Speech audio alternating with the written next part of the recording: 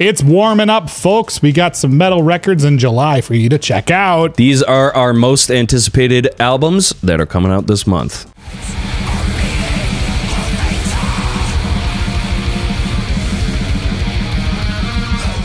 Starting with July 7th, Fen Monuments to Absence. On paper, I love everything about this band. When I listen to them, it kind of has to be the right one. The last album clicked with me. I'm eager to see if this one clicks. I'm sure it will. If you love bands like Falls of Rauros and Agalloch, this is a band that you definitely should at least check out. So scope it.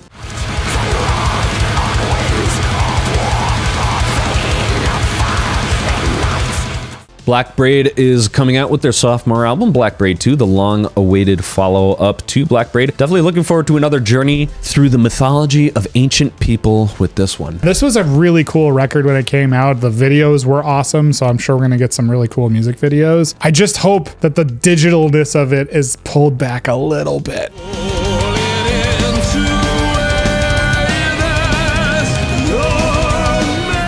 Winter Age, Nekyia, an Italian symphonic power metal band that wants to demand our attention for 49 minutes. I don't know, man, that album art alone is pretty fucking intriguing. The album art is the window to the soul of the record, and I agree, it definitely has me intrigued.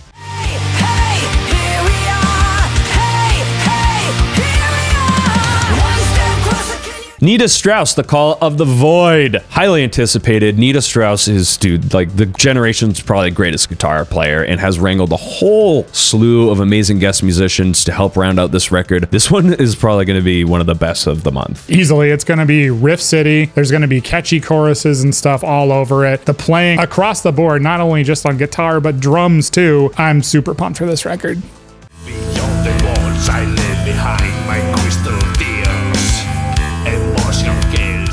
Rotting Christ, the apocryphal spell. Can't get enough Rotting Christ? They've got you covered with this new batch of re recorded, remastered songs and some covers to boot. It's an interesting little filler album. Rotting Christ is a cool as hell band. I'll at least scope it. Yeah.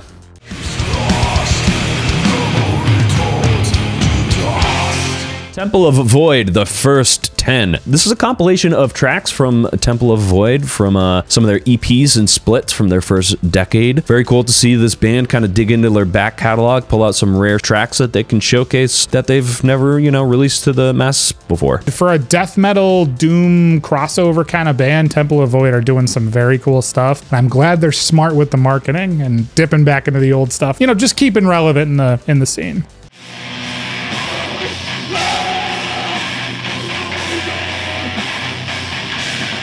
July 8th, this is the only record being released that we are aware of. Thra, Forged in Chaotic Spew. After a few EPs under their belt, this is the debut full length album from this blackened sludge band. Pretty curious to see how it sounds in its entirety. The single Drag was is fucking awesome. Yeah, I scoped that after I looked at your notes. That single is absolutely disgusting. Keep a lookout for Thra.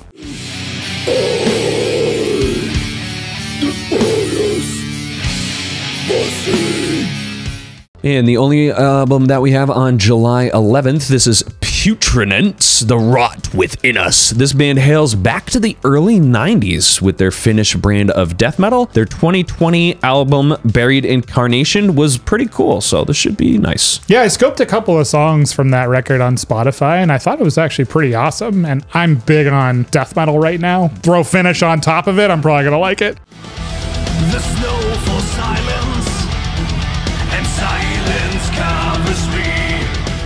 Now we're getting to July 14th. Winterstorm Everfrost, the first of two major releases from AFM Records this month. Winterstorm is a monumental symphonic power metal band with a very loyal fan base. Likely you are one of them if you're watching. Yeah, you've been saying we need more power metal on the channel. We've been trying to embrace that more. Here you go, folks.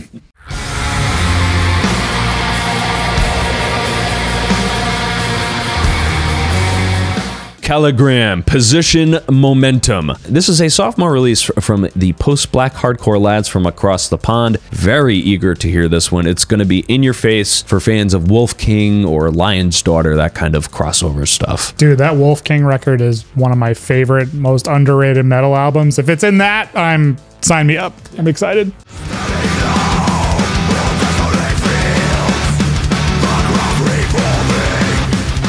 AmongRuins, Land of the Black Sun, the third release from this Greek melodic death metal band. For the fans that can't get enough of the mellow death in their life, this is for you. It's cool to see the resurgence of mellow death. I'm all for it, man. Yeah, Bring it on. It's been on great, pretty much.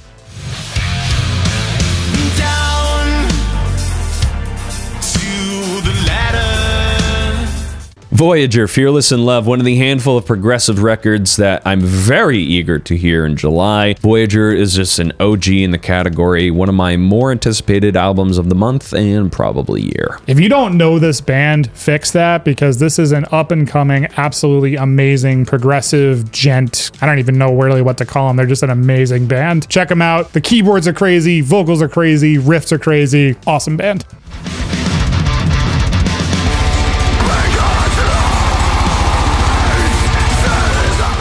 Aetherian at Storm's Edge, another Greek melodic death metal band. What's with the Greek melodic death metal bands? It's cool. They're really pressing the envelope. Their debut was back in 2017. It took a few years off. Hopefully, they took some time and crafted something wonderful. More melodic death metal, man. Like I said, sign me up.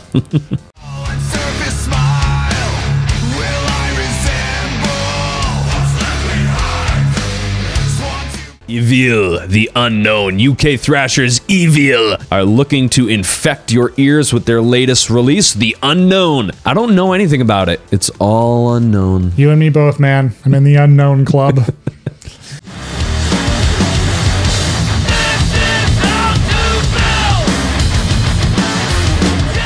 July 15th, Radiant Knife Pressure. This is the only album coming out on the 15th that we are aware of. This is a Louisiana based band. They are dropping their sophomore release, another sludgy record. I am personally eager to get my hands on. Can't get enough sludge, this guy. ben loves the sludge. Bring it on.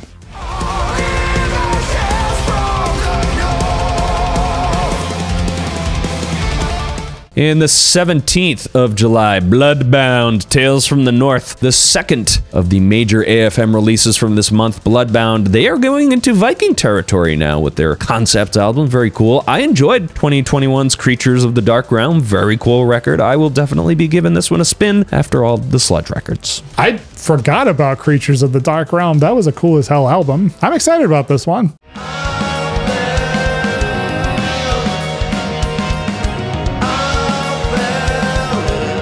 July 21st, Voivod Morgoth Tales. For those of us that can't get enough Voivod, which is the Voyage, this band has revisited their 40 years. 40 years, dude. That's about how old we are of history since 1983. They've grabbed some select songs, they re recorded them with their current lineup. The title track is going to be a brand new song. Fuck yeah, dude. Sign us up, man. I'm yeah, more Voivod's always a great thing. They've just been releasing banger after banger in their later half of their, not even half, in their later career, and I'm super stoked. Yep.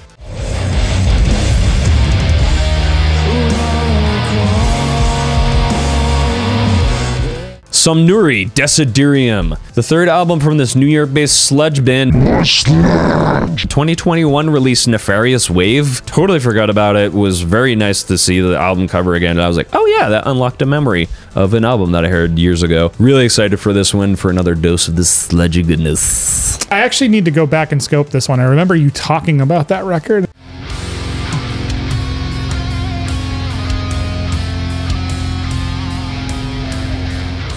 Rannoch Conflagrations. These progressive death metalers from the UK are launching their third full length. If you love the chaotic, dissonant prog death, be sure to scope this one, and you might recognize the album art style.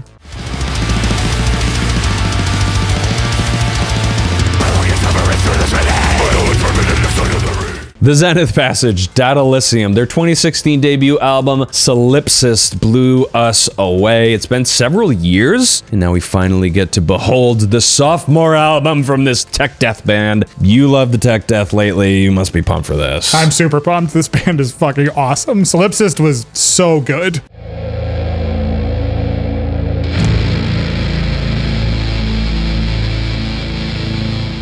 Mizmor Prosaic. This one-man Black and Doom act recently collaborated with Thou and dropped one of the fucking craziest doom metal albums of 2022. I probably should have put that on my best of list, but whatever. With Myopia, that album was amazing. Now he's back doing his own thing with this album. I'm pretty excited for this. Myopia was awesome, and Mizmor is a great Doom band.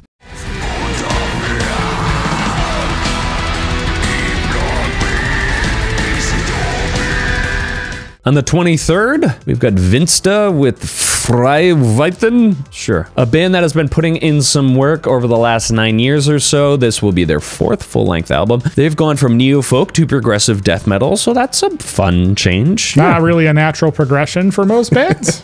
so, yeah, I'll check it out. Yeah.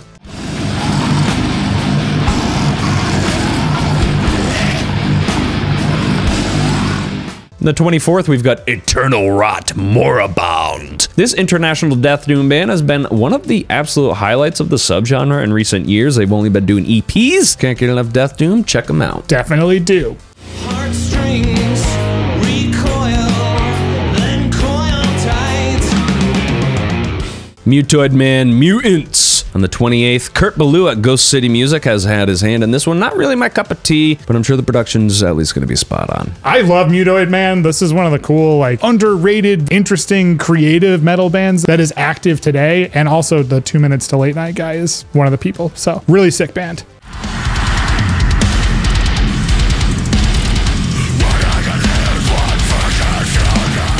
And last but not least, Signs of the Swarm amongst the low and empty, a deathcore band getting released on Century Media. They've been around for a while. This is their fifth album.